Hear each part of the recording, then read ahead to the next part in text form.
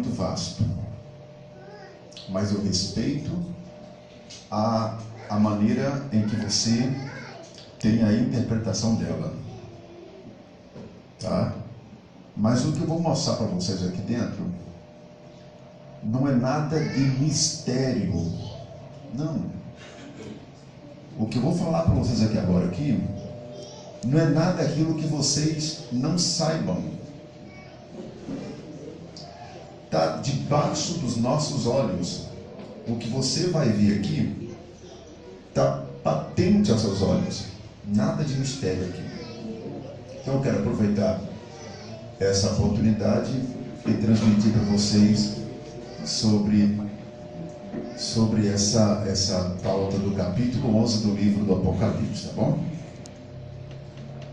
É... favor, me dá a imagem.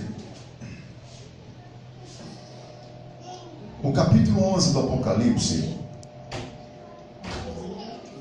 o capítulo 11 do livro do Apocalipse, ele é um capítulo, ele é um capítulo que é uma continuidade, continuidade da sexta, da sexta trombeta do Apocalipse. Então, as duas testemunhas elas estão dentro da continuidade da sexta trombeta do livro do Apocalipse. Porém, e como ontem eu falei para vocês sobre Zacarias capítulo 6, hoje eu quero falar para vocês também só 11 versículos, apenas 11, então não demora, não 11, 14 versículos. 14 versículos passa rápido é capaz do acabar, que é dos testemunhas aqui, ainda procuramos outra matéria aqui para dar até as 9 horas. É um, é um. Você entende? É rápido demais aqui, 14 versículos é muito rápido.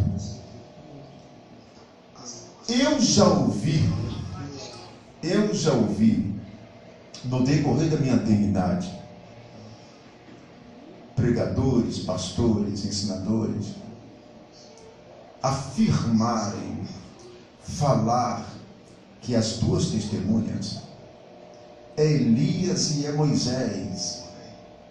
Já havia até outros ainda tentar chutar ou tentar deduzir que já não é mais Moisés, as duas testemunhas é Enoque e Elias, porque dizem alguns estudiosos que tem duas pessoas vivas no céu que foram supostamente arrebatados vivos sem ver a morte, Enoque e Elias.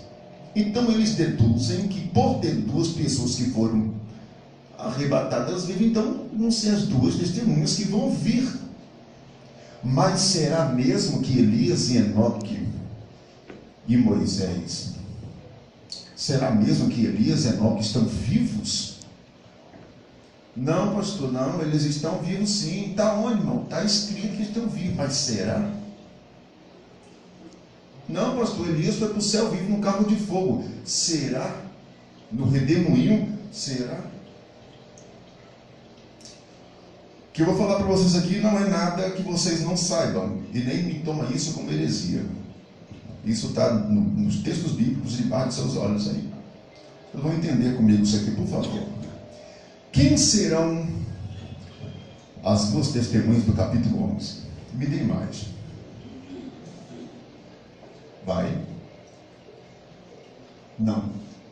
Não. Volta. Isso. Não. Hã? Não. Terceiro ai. Não. Não, não precisa você ficar apavorado, não. Isso é natural. Não. Aqui.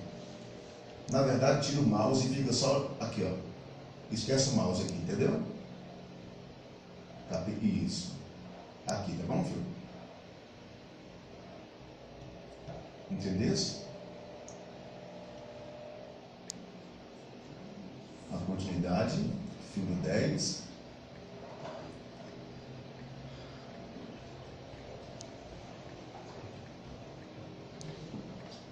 tá? Então o culpando é você não, peraí. Erro técnico acontece. A culpa não é dele, a culpa foi do pastor. Minha.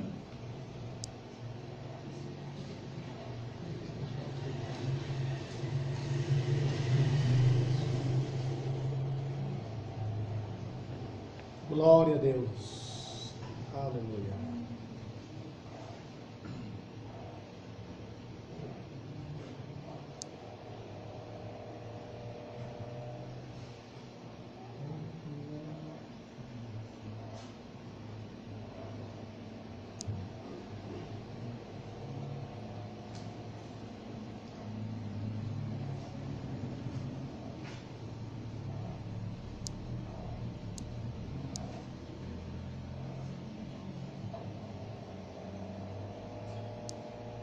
Deixa eu ver se é isso aqui.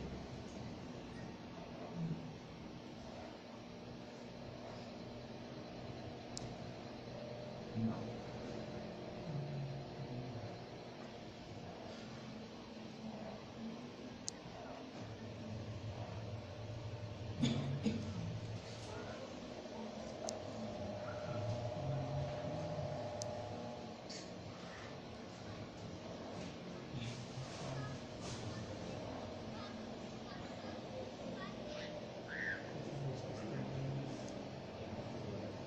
É o slide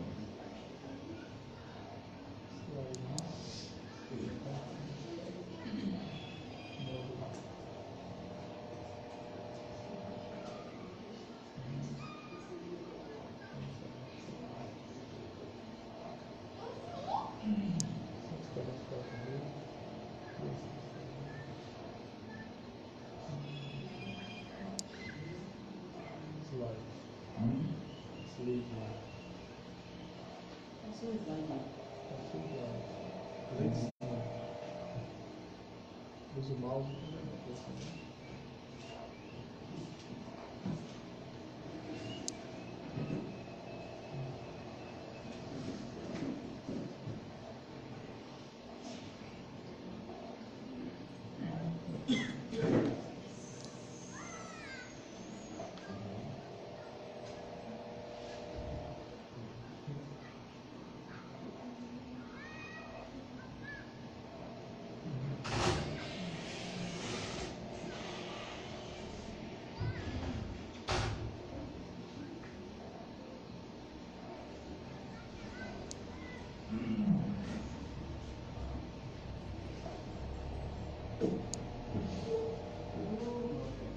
Aqui no filho, você vai ficar assim, ó.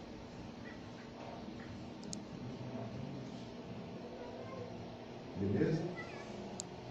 Vidinho? Igual ontem, tá bom?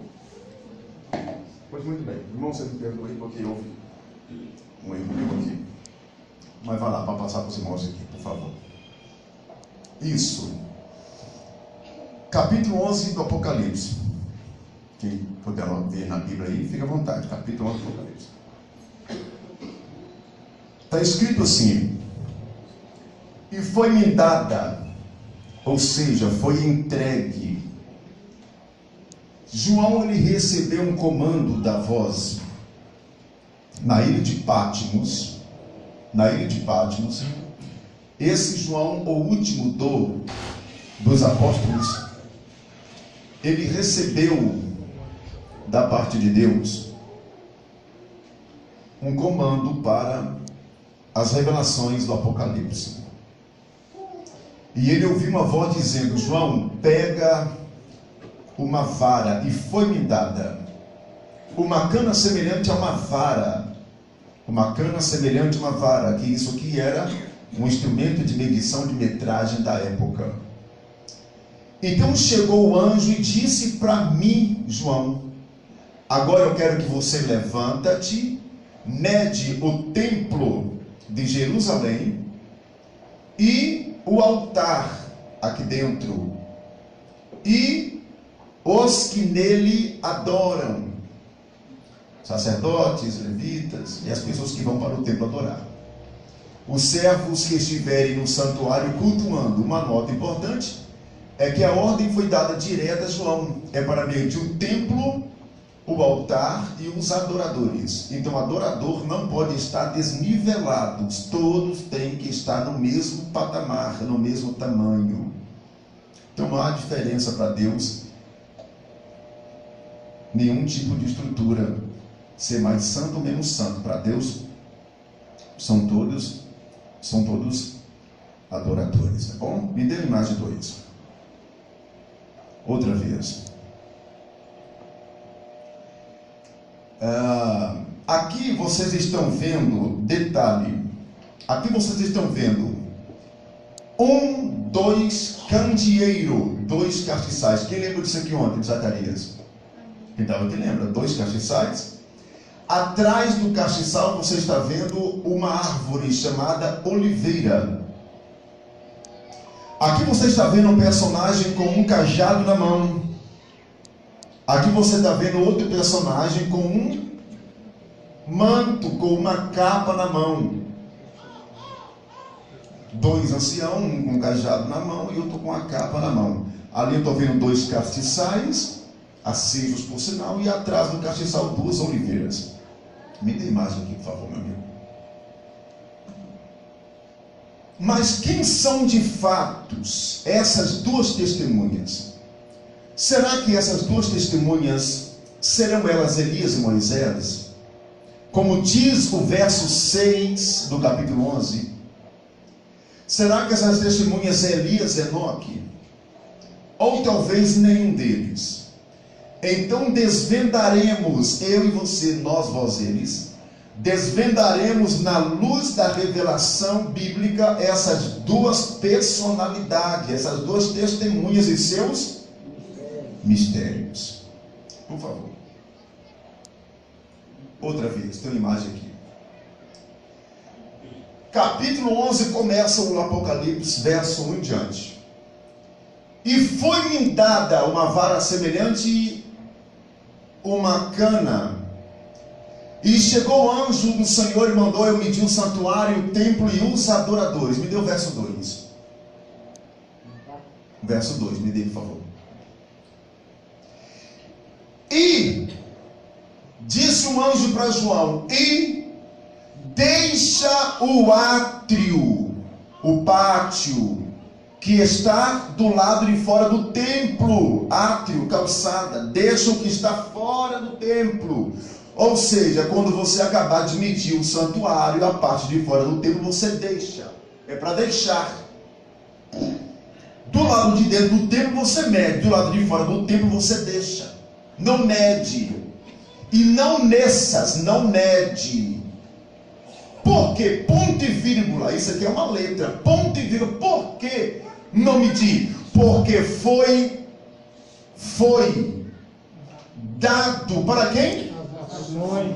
E o que, que as nações vão fazer do lado de fora do santuário? Pisarão está no futuro. E pisa, as nações do mundo do lado de fora do templo vão pisar. Pisarão a cidade quem? Santa. Que cidade santa é essa? Jerusalém. Eu vou te dar um detalhe. Bíblia você tem que ver detalhes. Ponto e vírgula. Calma, é detalhes. Eu sou muito curioso com essas coisas. Detalhes. É assim você aprende Bíblia, detalhadamente. Nesse período, a cidade de Jerusalém será invadida por nações de várias partes do planeta que estarão ligadas a quem? Anticristo. Ao anticristo. 42 meses é um ano de 360 dias, que são 1260 dias. Isto olhando para o capítulo 11, verso 3 e capítulo 12, a mulher vestida de sol, fugindo do dragão. 12 e 6. E isto se divide em 3 anos e meio de 360 dias, 42 meses de 30 dias cada. O verso 3, o verso 3, eu quero que você me ajude a ler isso aqui. Isso aqui vai fazer você memorizar. O verso 3 do capítulo 11. E darei o que, gente? Poder. Eu darei futuro, eu não dei no presente. E nem eu dava no passado. Se eu darei, é futuro. Eu darei o que? Poder. Quem está dizendo isso é Deus dizendo para João: João, eu darei poder às minhas duas testemunhas. As duas testemunhas é de quem? Minhas. É de quem é duas testemunhas? Deus. E eu darei poder às minhas duas testemunhas, e eles profetizarão futuro. Não profetizava no passado e nem profetizou, é profetizarão futuro. Por 1260 dias, vestido de saco de pano, que era a roupa típica de profeta do Antigo Testamento, feito de pele de animais, que receberão do Todo-Poderoso grandes partículas do seu inefável poder. Grava essa palavra, eu darei poder, eu darei poder. Grava isso aí. Me dê mais, por favor, grande. Essas são as duas oliveiras e os dois candeeiros que es que es não. estava no passado nem estarão é estão. Ou seja, não estava nem esteve, eles es no verbo presente. Então, pela luz do que eu estou lendo, as duas testemunhas já estão dentro de Jeru, vivo, coração batendo agora, irmão.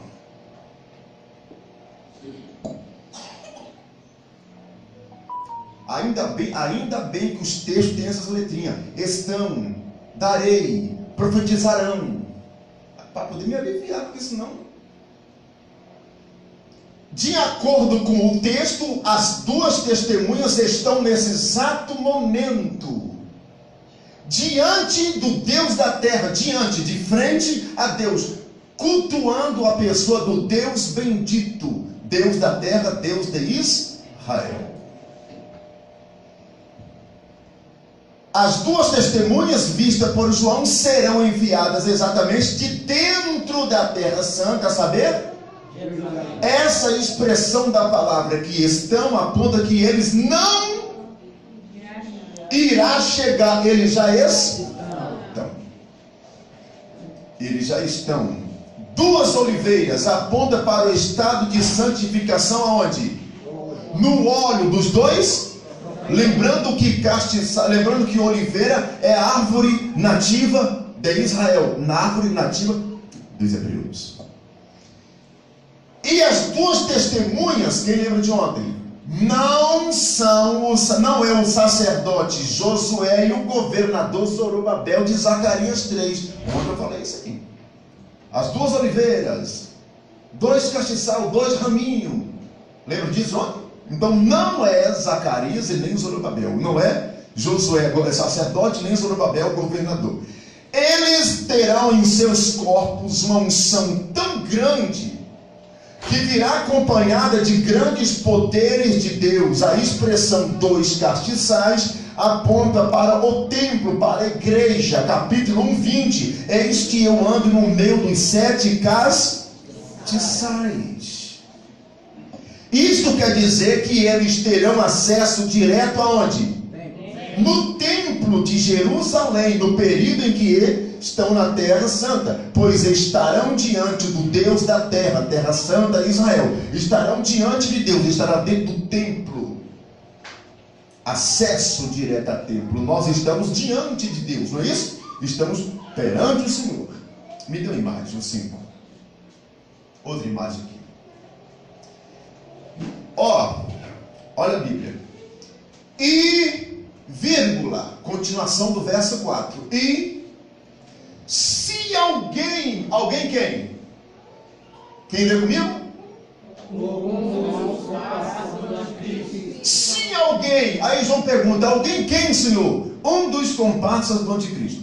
Se alguém lhes quiser fazer mal, ou seja, lhe quiser agredi-los, pois eles serão calo no sapato do anticristo, que nesse período já estará na Terra Santa poluindo a moral dela com seus planos malignos junto de seus. E se alguém lhes quiser fazer mal, fogo sairá da sua boca. Este fogo não é combustão, fogo é autoridade para repreender através da unção da oliveira e do poderio entregue a eles. autoridade, que fogo sai de suas bocas. E de sorte que devorará os seus inimigos, ou seja, pessoas do anticristo morrerão só de encará-los nos seus olhos ou no levantar das suas mãos. Uma unção tão grande, não é verdade? Uma autoridade dinâmica. Me dê imagem, vocês.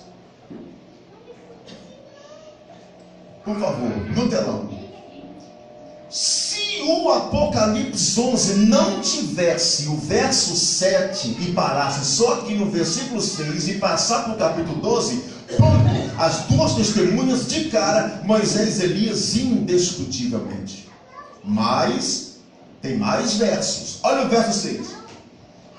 As duas testemunhas têm o poder para fazer o quê? Para fechar o céu para que não dias de sua. E o outro tem o poder sobre as águas para convertê-las em e para ferir a terra de toda sorte de pragas quantas vezes quiserem. Quem foi que fez, orou e fez chover na Bíblia? Elias. Tiago 4, Tiago 5. Elias orou e fez o quê? Elias, indiscutível. E qual foi outro crente que fez praga e mais sangue? O único. Ainda bem que tem um verso 7. Até agora estamos falando de dois personagens que serão enviados por Deus na Terra Santa para desmascarar a pessoa bestial do anticristo. Mas de uma coisa é certa, eu estou falando para vocês é de dois personagens, pois serão dois, mas fica uma pergunta: quem serão de fato os dois ungidos? Quando eu olho embaixo do verso 6, eu encontro aqui dois personagens que fizeram exatamente o que diz o verso 6: poder para fechar o céu para que não chova, e no dia de sua profecia, este já sabemos quem é. E quem é ele? Profeta Elias. É isso aí, o profeta Elias é, é, é uma das testemunhas do capítulo 11. Será? Me dê mais. Quem foi o profeta Elias? Tiago capítulo 5, 16 e 17. Elias era um homem? O que é ser um homem comum? Hã? Natural. O que é ser um homem natural? Carne, osso, sangue. Carne, osso, sangue. Se Elias é um homem comum e ele diz que é natural, e o pastor disse que é carne, osso, sangue, então quer dizer que Elias é um pecador. Elias é um pecador. Jezabel bateu o pé e ele correu. Orou e desceu fogo, matou o soldado de Acabe, mas quando a mulher bateu o pé, ô oh, Senhor, a mulher é ruim demais, quer matar eu, ô oh, dia cruel, eu não aguento. Eu mato um monte de soldado, a mulher não encaro, ô oh, meu pai, oh, mulher demônio, Senhor, faz alguma coisa por mim, oh, e agora? Quem poderá me defender? É, Elias fugiu de uma mulher possessa de demônios. Por que, que ele fugiu? Porque ele é um cara comum. Comum. Tinha saliva, tinha dente, tinha gengiva. Fazia as necessidades fisiológicas naturalmente. Dormia, acordava, ficava nervoso, ficava revoltado, ficava virado. Pronto, ele é um cara comum. Mas um homem que era comum, ele orou e fez com que não. É natural você ser um crente comum e orar e Deus responder. É natural a senhora ser uma, uma, uma crente comum e orar e Deus responder. É natural ser um homem comum na terra e ter contato com Deus diretamente. Um conselho que eu dou: para de ficar pedindo oração para o obreiro. Você tem a senha do chefe, vai diretamente a ele. Glória a Deus. Para com esse negócio de ficar com a cabeça assim, olha por mim. Você tem a senha do chefe, procura diretamente a ele. Com aquela fila de INSS para ungir, para tocar a mão, não precisa disso, não. Você tem acesso à casa do chefe, meu filho. Glória. É verdade. Busque o Senhor diretamente. se eu sei onde é que mora o patrão, eu vou procurar um funcionário, meu irmão. Eu vou procurar um chefe. É na verdade. Falei assim, amigo, cheguei para bater um papo, vamos começar, oração é conversa. Não, pastor, porque você orando, Deus responde. Deus não responde você, não. Então você vai fazer o que igreja? Vai ver, Faustão, não sei nem mais, velho. Se você ora e Deus não te responde, alguma coisa acontecendo. Ou Deus virou as costas, você provocou para que Deus vire as costas. Mas é natural orar, o homem comum orar. E o homem comum, quando ora, Deus faz. E Elias era o homem comum, orou e fez com que não. Durante três anos e. Até parece que é brincadeira, mas não é. Texto bíblico, três anos e meio, tempo da minha tribulação. Três anos e meio inicial, três anos e meio finais. Então orou outra vez e fez cair chuva na terra. E o outro, olhando para o verso 6, eu encontro aqui um personagem e tem o poder para transformar a água em sangue e de sorte de pragas na terra. Estão, é, é, então já sabemos que este é o. Moisés. Aqui estão os capítulos de onde Moisés fez todas as pragas egípcias praga do piolho, praga da rã, praga do gafanhoto, praga do mais sangue. Onde? Está ali os textos bíblicos. E então estamos no versículo 6 do capítulo 11. Acreditamos que seja quem? Moisés. De fato, é Moisés. Moisés tocou no mar, mar virou praga, virou sangue, veio as pragas. Moisés indiscutível. Ok? Me dê imagem. Vemos então aqui o perfil do personagem do verso 6. Elias significa Javé é Deus. Elias foi um profeta do século 9 antes da era cristã, natural de Tisbé, de Gileade. Da tribo de quem? Da tribo de quem? Então, Elias era morador de Tisbé, da tribo de Gade. Da tribo de Gade tinha uma vila chamada Tisbé, e Elias veio da tribo de Gade. Olha o nome, tribo. E tradicionalmente identificada como sítio a 13 quilômetros do norte de Jaboque, e o ministério do Reino do Norte é registrado em 1 de Reis 17. Então eu vejo aqui alguns atos proféticos. Elias anuncia uma seca durante a qual ele é miraculosamente sustentado junto à torrente de Querite. Três anos mais tarde, a seca termina depois que ele vence os profetas de Baal em um confronto dramático no monte.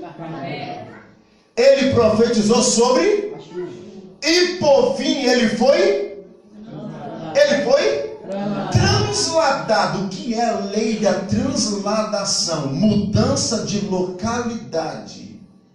Eu moro lá no Iriri, em Praia, em Anchieta, Espírito Santo.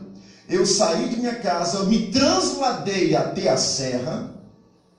Da serra, o pastor de vocês me transladou até Ita, Itabatã. Quando foi embora, o pastor de vocês vai me transladar até a minha cidade transladar mudança de localidade. Se Elias foi transladado, ele morava em Samaria. Foi transladado para onde? Se é lei da transladação. Segundo de Reis, capítulo 2. Olhando para o versículo 6 do capítulo 11, e aqui vemos o profeta indiscutível. Não aqui mais. Oh, Pai.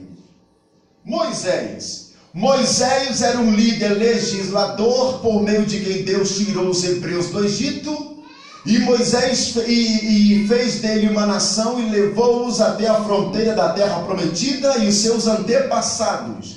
O nome dele foi provavelmente dado pela sua mãe adotiva, a princesa egípcia Hatshepsut, que era o nome egípcio, a princesa egípcia era a quinta governante egípcia da 18, 18 dinastia, filha de Tutmoses I, nascido da descendência da tribo de Levi. Elias era de que tribo? Tribo de Gade. Moisés é da tribo Levi. Olha só.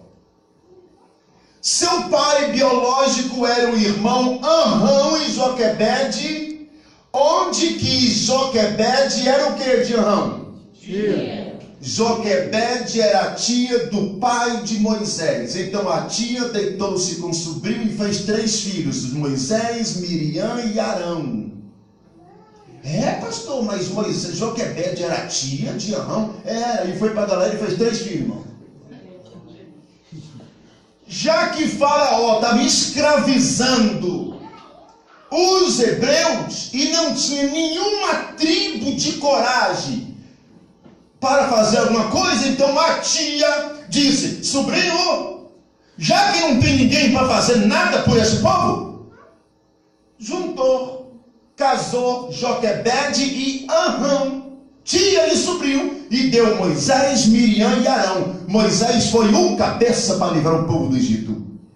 Está na Bíblia? Eu quero que alguém lê para mim Êxodo capítulo 6, verso 20. Lê por favor para mim alguém, Bíblia, por favor. Êxodo capítulo 6, verso 20. Por gentileza, lê quem tem Bíblia no banheiro. Êxodo capítulo 6, 20.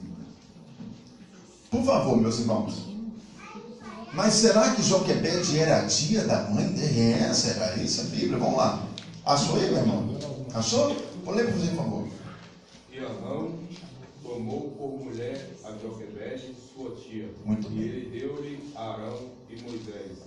E os anos da vida de Arão Ah. foram 127 anos. Então, os pais de Moisés, Miriam e Arão eram tia e sobrinho, segundo o que o senhor leu. Então a culpa é dele que ele que leu, tá bom, irmãos? Pode procurar ele aí, porque de fato. Pode procurar ele aí. Como é que é? é sua tia e sobrinho? É, porque eu li. Então a culpa é dele porque ele leu. E a verdade é essa. Então a sua tia lhe foi dado por Arão. E seus irmãos eram Arão, Miriam, e mais tarde Moisés matou um soldado egípcio e enterrou nas terras de Midian, onde fugiu e casou-se com Zípora, filha de Jetro, e foi escolhido para tirar os hebreus da onde? Te mostrei quem é Moisés. Agora me dá o a, a, a- por favor. Voltando para o capítulo 6, o capítulo 11, verso 6 do Apocalipse. Aparentemente, encontramos os dois, Elias e quem? Chuva e mar em sangue pragas, Elias e Moisés. Mas será mesmo esses dois profetas que voltará depois de cinco milênios de anos atrás? Não, pastor, vai voltar, vai voltar, vai voltar, mas vai voltar. Me dê, me dê aqui, por favor. Verso 7. Eu falei, se tivesse o versículo 6, eu concordaria, mas já no verso 7, olha o que diz a Bíblia. E quando acabarem seu testemunho, ou seja, quando terminar o tempo determinado que Deus dará para eles, na grande tribulação, estará dando os seus três anos e meio restante. Quando acabar o tempo de profecia, a besta que sobe da onde? Ou seja, o anticristo que este receberá do dragão Satanás o poder, pois ele será o legítimo representante de Satanás aonde? Na terra. E lhe fará guerra, o anticristo vai fazer guerra contra as duas testemunhas, vai vencer as duas testemunhas e vai as matar. E vai as matar. Mas Moisés é morto, gente. E pode morrer duas vezes? Não, está ordenado aos homens morrerem uma vez, sexo a juízo. Moisés está morto. Se Moisés morreu, quem é que vai aparecer fazendo praga, sangue e tal? O anticristo fará guerra, irá dar ordem aos seus soldados para que os maltratarem. O anticristo irá vencê-los, os dois irão render, no final se entregarão. O anticristo irá matá-los, os dois serão mortos aos olhos de todos. E tem mais. Quem mandou Esse negócio de jogar rede dá um vício na minha cabeça. Só o sangue. Liberta ele.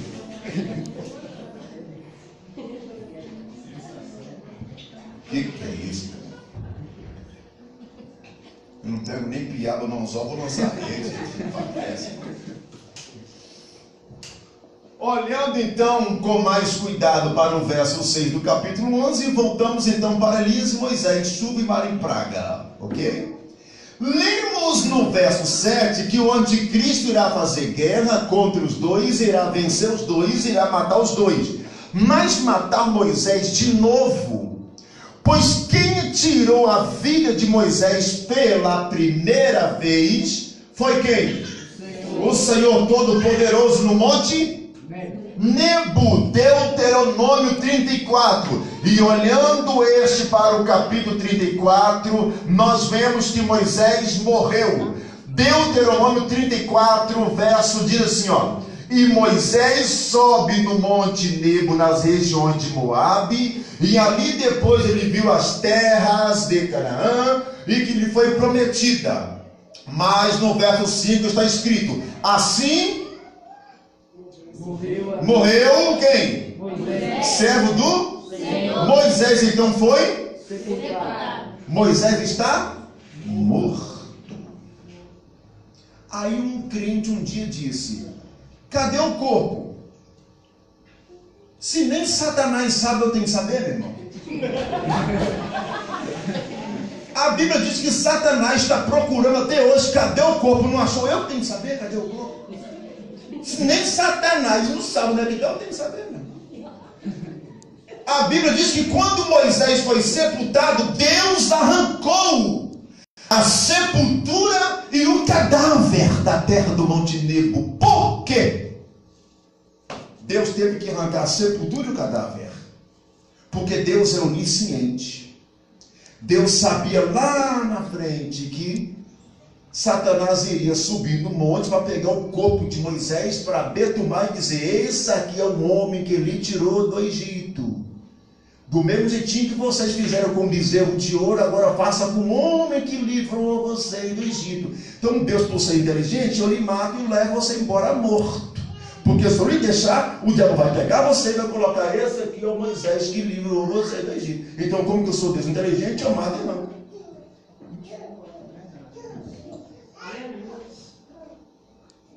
Me dê mais. O próprio Deus falou em clareza ao chamar Moisés para substituir Moisés. Chamou Josué, substituir Moisés. Josué 2, verso 1. Quem lê? Disse o Senhor, meu servo Moisés é morto. Quem foi que disse que Moisés é morto? Se Deus falou que o camarada está morto, não vai ser eu que vou dizer, não, está errado, está morto, não. Não, você está equivocado. Moisés está vivo, Senhor. Não. Judas não tem capítulo, Judas é só versos. Judas, verso 9: Miguel discutia. Discutia com quem? Sobre o corpo de? Moisés. É mesmo que eu estou vendo Satanás lá no monte pegando. Cadê? Cadê? Cadê? Cadê? Cadê o corpo? Cadê o corpo? Mas corpo de quem, Satanás? Moisés. Você chegou atrasado, filho. Salta fora. Miguel discutia com Satanás sobre o corpo de Moisés. Hebreus 9, 27. E está ordenado aos homens morrerem uma mas será que o líder Moisés e o profeta é Elias, no capítulo 6, do verso 11? Me deu imagem. Entenda melhor o texto sobre a misteriosa morte de Moisés. 34, Deuteronômio, ele morre. O seu corpo é o que? Assustadoramente. assustadoramente raptado, ok, sumiu, no verso 6 do 34 de Deuteronômio. Seu falecimento provocou discussões nas regiões celestiais, a ponto de Miguel degladiar com Satanás. Um conselho, não confunda Miguel com Gabriel, a função dos dois é diferenciada. Eu falo toda vez que eu toco nessa tecla, eu sou obrigado a repetir, há 12 anos o mesmo pique. Gente, Quando você estiver numa luta espiritual, não chama Gabriel para lutar, irmão. Se eu tiver numa luta espiritual, aquela batalha travada, e eu chamar Gabriel, vai apanhar eu e Gabriel. Gabriel não luta com ninguém, irmão. Eu já cansei de dizer, desce, Gabriel. Descer para onde? Lutar na minha guerra. Eu lutar? Para você? Tu apanhar sozinho, filho, que eu não vou perder nossa briga, não. Eu, Gabriel, lutar? Vou não. Porque eu não sou anjo de guerra. Então manda Miguel, vem Miguel e luta. Miguel não vem para brasileiro e nem para quem mora em Itabatã. Miguel é anjo de Israel. Daniel capítulo 12, nos últimos dias levantarão Miguel para defender o meu povo hebreu e não para brasileiros. Já ouvi crente chamando o anjo para expulsar demônio. Amarra ele, Miguel. Amarra. Miguel não amarra. Não, Miguel amarra demônio, não. Já vi crente chamando Gabriel para expulsar demônio. Expulsa ele, Gabriel. Ô oh, Gabriel, expulsa ele. Eu, eu expulsar demônio? Eu? Não. Tu fica aí com seus capetinhos aí que eu não vou expulsar, não.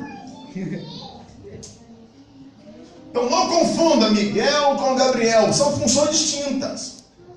Separadamente. O diabo ficou o que, irmão? Isso aqui é coisa minha, tá? O diabo ficou doido, querendo encontrar o corpo, o cadáver de Moisés. Mas para que interesse teria Satanás com o cadáver de Moisés? A resposta é simples, no Êxodo 3. Deus intima Moisés para ser o líder do povo hebreu. E que estavam como escravos na mão de quem? Faraó. Faraó. O povo hebreu, vendo que Moisés demorou em descer do monte, o povo dirigiu-se para quem?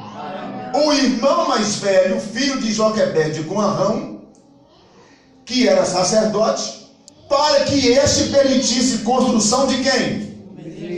Um bezerro?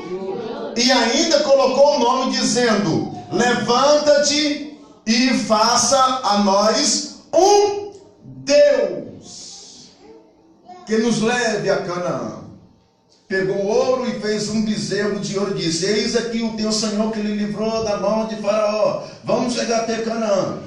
O que, que Deus faz? Para adorar um bezerro de ouro, é mais fácil adorar o cadáver de Moisés. Então, para não ter culto a morto, é muito simples. Eu levo Moisés embora para não existir o seguidor de Chico Xavier. Culto a morto. Aqui aponta que Moisés era o líder de suprema importância para o povo hebreu, olhando para o capítulo 32 do livro de Êxodo. Um detalhe importante, ainda bem que está numa live também. A ingratidão do povo é tão grande que nem Deus queria e nem Moisés queria o povo. A ingratidão do povo, ainda mais o povo que diz que segue a Deus, era tão grande que Deus disse: Moisés, eu quero que você vai ser o senhor do povo. Aí Moisés disse: Eu ser senhor? Tudo bem. Até então Moisés achou que era. E o príncipe do Egito ser senhor do povo, ok, eu topo. Vão lá. Multidão ser levada. Reclamou, o povo reclamou: Moisés, estou com fome. Vai Moisés, Senhor, o teu povo está com fome. Aí Deus disse: Moisés, avisa para o teu povo que eu vou mandar maná. Moisés avisa para o povo de Deus: Gente, o teu Deus diz que vai ter maná. Aí o povo diz: Moisés, só que agora eu quero água. Deus, o teu povo diz que está com sede. Aí Moisés diz: É o teu povo. Aí Deus diz: Manda o teu povo parar que eu vou mandar água. Era um jogando no Ninguém tem raça ruim. Me tem mais. Deus me perdoa. O negócio é sério. Eu quero, irmão. Me tem mais. Aqui, aqui não, não, não. Se para os hebreus pegar o ouro derretido e fazer um bezerro, uma imagem de escultura para adoração da criatura, não fez nada para esse povo por ser um objeto. Então foi por isso que o Criador, na sua capacidade de saber do amanhã, escondeu o corpo de Moisés mesmo depois de falecido. Onde, pois, o diabo encontrasse o corpo de Moisés, o próprio Satanás entraria no corpo, do, no coração do povo, igual entrou para pedir um bezerro. Adorar o corpo de Moisés morto, detumado, é muito melhor do que adorar um bezerro. Então Todo-Poderoso escondeu, capturou, raptou o cadáver de Moisés e levou a juntar aos demais servos que já partiram para quem? De, primeira de Tessalonicenses 4,14. Se cremos que Jesus Cristo morreu e ressuscitou, cremos que Deus os tornará a trazer com ele. Então, olhando para esses versículos, vemos então que Moisés Morreu. morreu. Aí alguém pergunta assim: se Moisés morreu, então me explique Mateus 17, o que que Moisés apareceu conversando com Elias lá com Jesus no Monte da Transfiguração? Já sabendo dessa, dessa pergunta, eu já aliviar, me dei mais. Mateus 17. Transfiguração de Jesus Cristo que apareceu no monte Elias e Moisés. Apareceu Moisés já sendo morto. Olha para Hebreus 9, está ordenado morrer uma vez. Segue-se a juízo. Moisés apareceu, me dá a imagem aqui. Monte da Transfiguração. Quem está com o celular para fotos? Monte da Transfiguração. Mateus capítulo 17. Jesus e Moisés e Elias e Pedro, Tiago e João. Jesus, Jesus, Moisés e Moisés com as tábuas e Elias com a capa no ombro. Uma nuvem, uma nuvem cobriu quem? Moisés, Elias e quem? Quem ficou fora da nuvem? Pedro, Tiago e João. O que, que é isso, gente? Me dê mais. A Bíblia diz que Jesus levou três discípulos para um monte muito alto. Lá o corpo de Cristo se transfigura como uma grande luz. Aparece Moisés, Elias, e a Bíblia fala que começaram com Jesus. Conversaram com Jesus. Tudo bem. Uma nuvem cobriu Moisés, Elias e Jesus. Quem ficou fora da nuvem? Pedro, Tiago e João. O corpo de Jesus resplandeceu com uma forte luz, aponta para a glória do Pai refletida no Filho.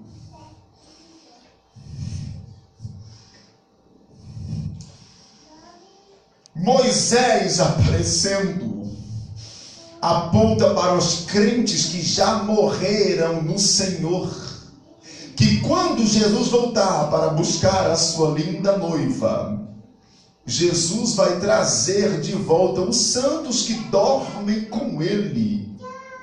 Pasme aos senhores, mas quando Jesus arrebatar a sua igreja, você que tem parente que é morto, que morreu crente, a Bíblia fala que Deus vai dar ordem para o Filho Jesus ir na onde que estão os salvos que estão dormindo no Senhor e vai dizer para o filho: Meu filho, passe no dormitório dos crentes salvos, convida-os, leva-os para buscar a sua igreja.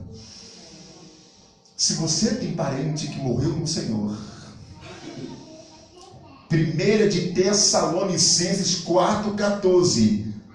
Se cremos que Jesus morreu e ressuscitou, assim também que aos, aos, aos quem?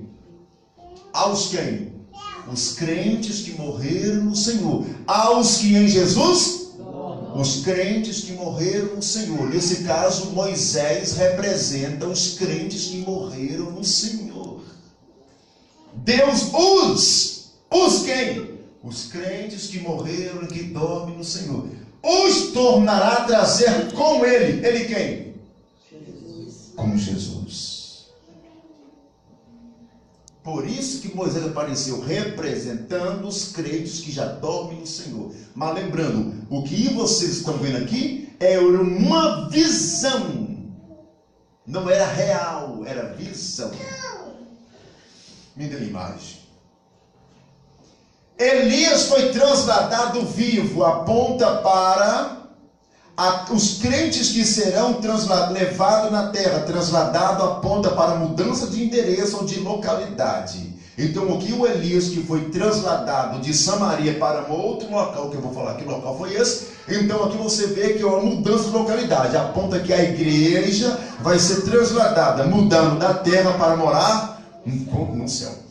A conversa entre eles, entre Moisés, Elias e Jesus, que, que, que reunião formidável, gente. Uma reunião de porta fechada.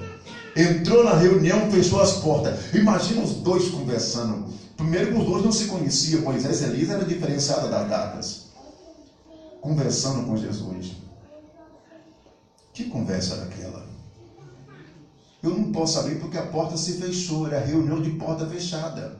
E a Bíblia fala que o servo não pode se envolver com reunião de seus senhores.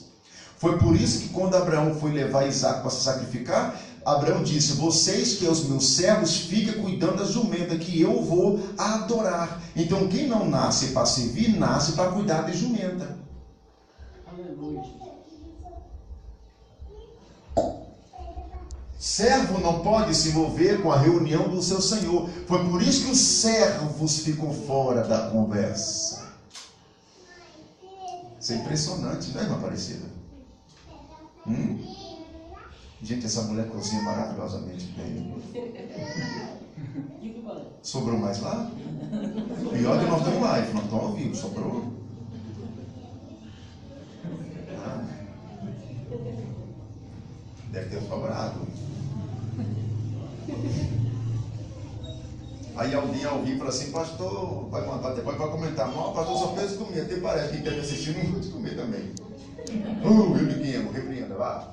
Me dê imagem. Me dê imagem.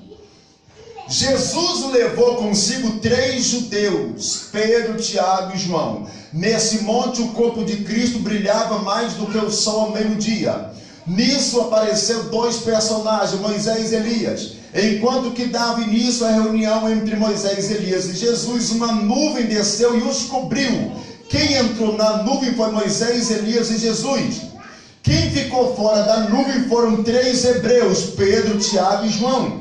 Uma voz do Pai entra na conversa, aponta para uma comunhão total, acesso que o Pai terá com a igreja arrebatada.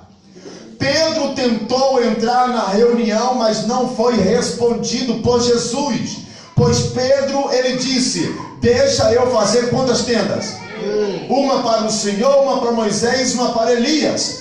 Mas Jesus não respondeu. Jesus ouviu Pedro dizer: Deixa eu fazer três tendas. Mas ele não respondeu, porque ele estava ocupado conversando com Moisés e com Elias. Esse pedido de Pedro, deixa eu fazer três tendas. Mas Pedro só foi preocupar em fazer a tenda depois que baixou a nuvem. Aí é tarde demais para fazer tenda. Porque a nuvem aponta para o arrebatamento da igreja. Então, se eu fosse você, eu deixava minha tenda preparada agora, porque depois que descer a nuvem, não tem tempo de preparar a tenda mais. Quer um conselho? Vire para o teu irmão com, sabe? Ou você prepara ou fica. Diga para ou você prepara ou fica.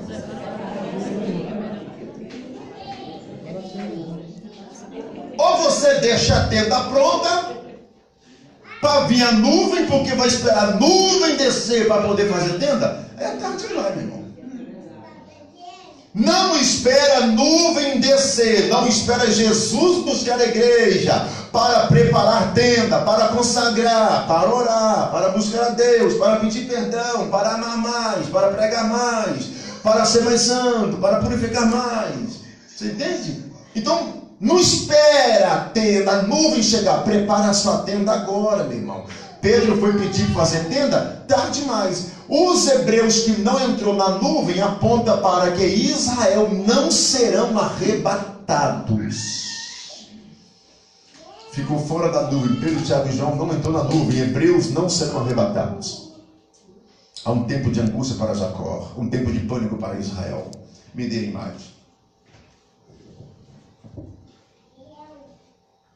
Elias, ó, não é Elias nem Moisés e muito menos Enoque. Elias e Enoque foram os únicos que pela Bíblia não não mas foram transladados arrebatados? Será?